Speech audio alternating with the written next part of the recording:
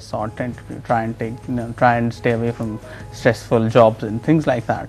So Any those- job becomes stressful True. when it has to become stressful. when it has to. So you know, even if you, uh, I mean, a teacher, a doctor, an anchor, anything can uh, has stressful, uh, you know, situations. true. It, it, it, that's that's very true. But it's just, you know, it's it's more so for some jobs than others. Ah, that's So true. Okay. you know, and then obviously the the amount um, of stress that That a person yeah, takes as yeah, well. Yeah, exactly. In any in any particular, if you've got a uh, a nice little cozy job where you know you're not rushed for timelines and you don't have deadlines to meet or you're not doing live shows, you know, I No, can can't think of any such job. I think yeah. every everything is stressful now.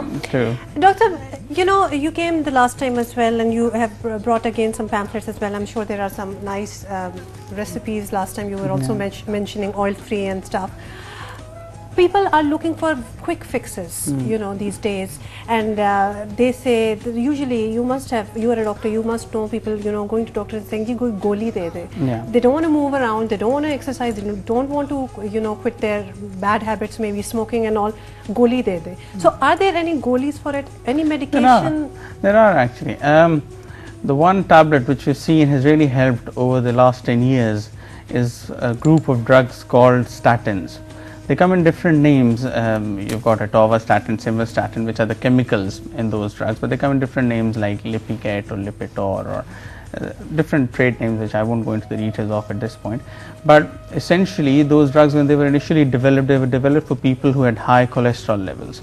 So we started giving those drugs to those people. But what we noticed was that over time, they actually caused uh, changes, or they, they, they, they actually had a very beneficial effect on the blood vessels and the lining of the blood vessels. Okay. So then we, uh, you know, research showed that you know if you give those drugs to people who have normal cholesterol levels, even in those people, they have a beneficial effect. Hmm. And what they tend to do, see what happens in a heart attack is your blood vessels tend to get narrowed.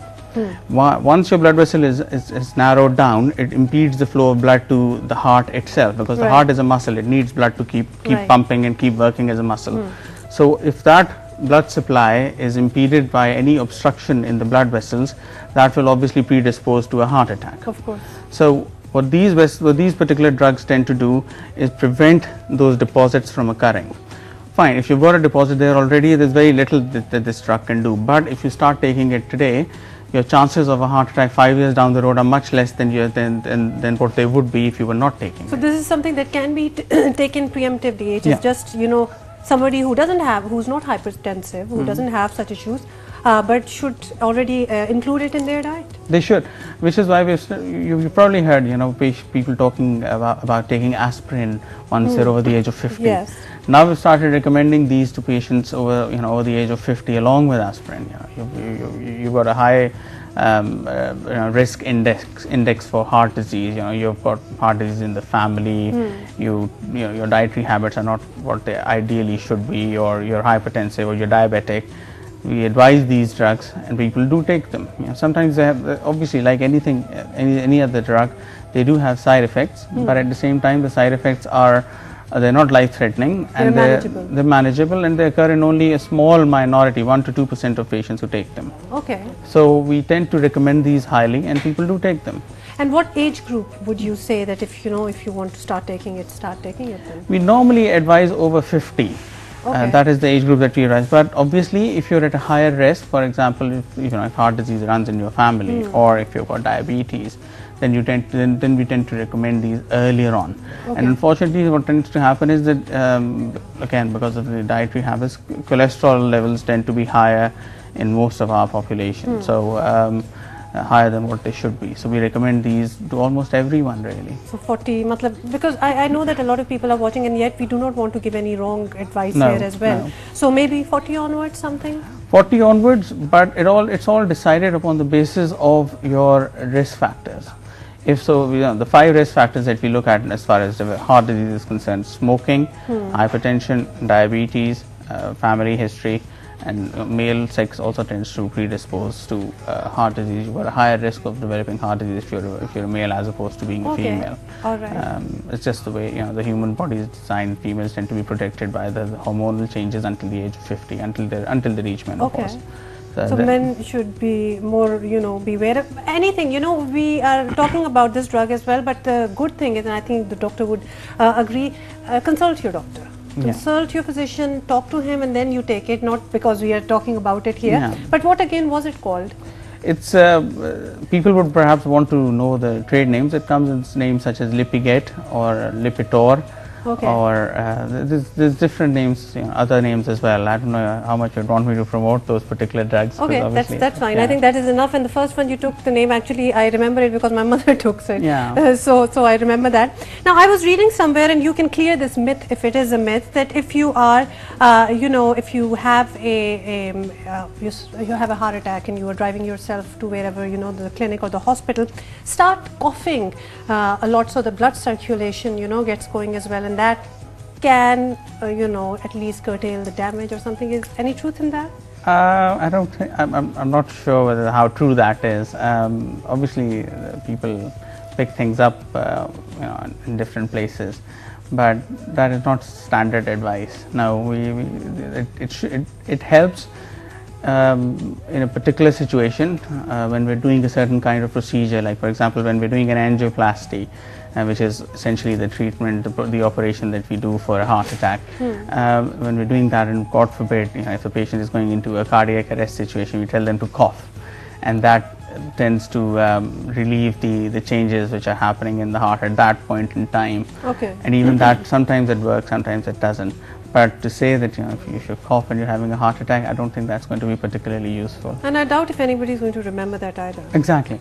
There are other things that we recommend to patients who are known to have heart disease.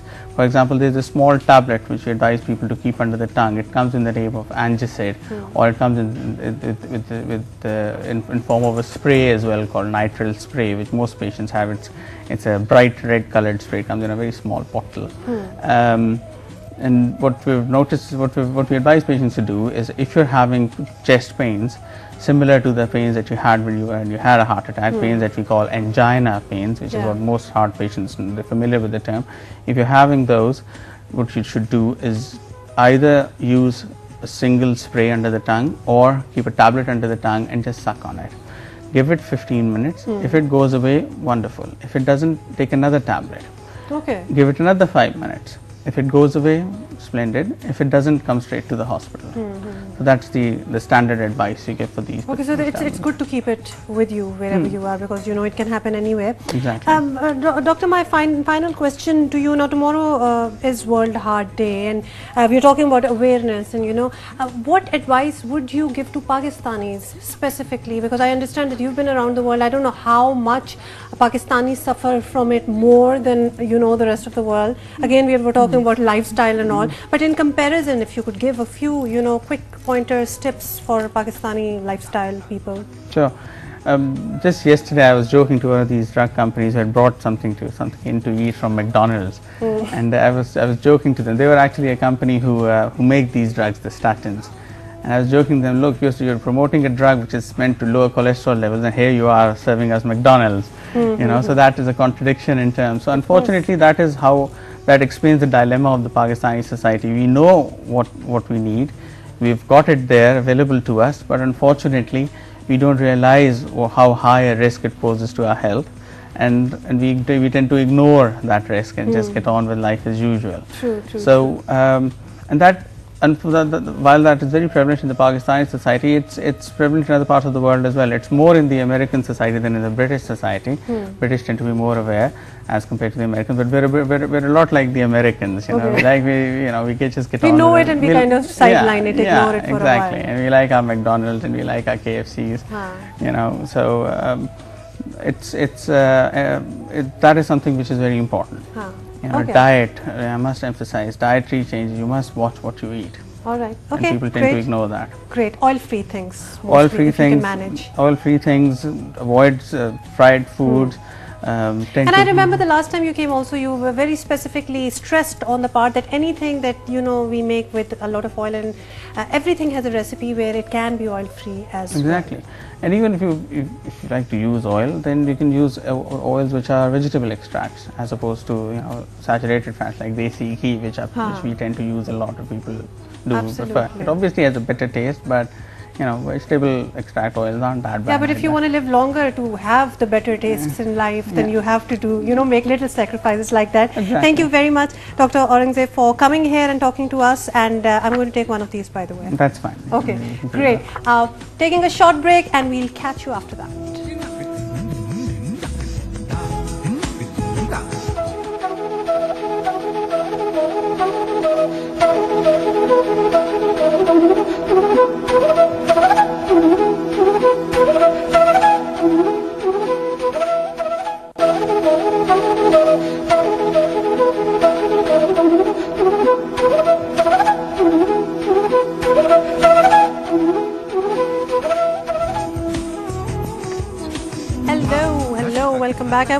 There would be some nice recipes here, uh, but there's a lot of information here, which is also good. Yeah. Okay, quotation time now, and I am sure, I am positive that you are going to like this one because uh, this is interesting. This is uh, something that you will get. This is by Malachi McCourt. If I'm pronouncing it right, resentment is like taking poison and waiting for the other person to die. How about that? You know, we were talking about tension and heart diseases. There's a lot of uh, relation over there. Resentment also falls into that category. Um, yeah, do not take this poison. Okay, now, word for you guys, and this word is really interesting. I must confess, I had never heard of it before, and it uh, came to me out of the blue as well. So, you know, I want to share it and we can learn it together. Um, please roll drums. Yes, today, this morning, roll drums. okay, and there it is. The word of the day gadabout. See what I mean? Gadabout. It means someone who roams about in search of amusement or social activity. And there's a term, don't gad about, is also used as an admonition to uh, admonition to sit still and not squirm or wander around a room. So you can also use it that way. Anyway, I do have an example for you which should uh, make it easier for you to understand. You could say so and so never did a day's work in his life but was the gadabout of the city, rubbing shoulders with the who's who and taking frequent foreign vacations. I am sure we all know one or two gadabouts in our lives, don't we? Or more. Yeah. Oh well, so you see, I knew that you would like the word. Okay, now I hope you have taken heed from what we were talking about with Dr. Aurangzeb and um, you know keeping the heart diseases away. But one sure shot way to get rid of depression may also be as simple as having coffee regularly. Yeah. If you want me to give you a scientific explanation, well, I haven't got one. All I can tell you is that the Archives of Internal Medicine US suggests women should drink more coffee to boost their mood. And caffeine, it seems, is the key player here. It is known to enhance feelings of well being and energy. And what's more, researchers say this adds weight to the work of others, which found lower suicide rates among coffee drinkers, too. Yeah. I guess it's decided then go grab a cup of coffee and if you take my suggestion, try the hazelnut flavor. You'll be hooked. Take care, see you today.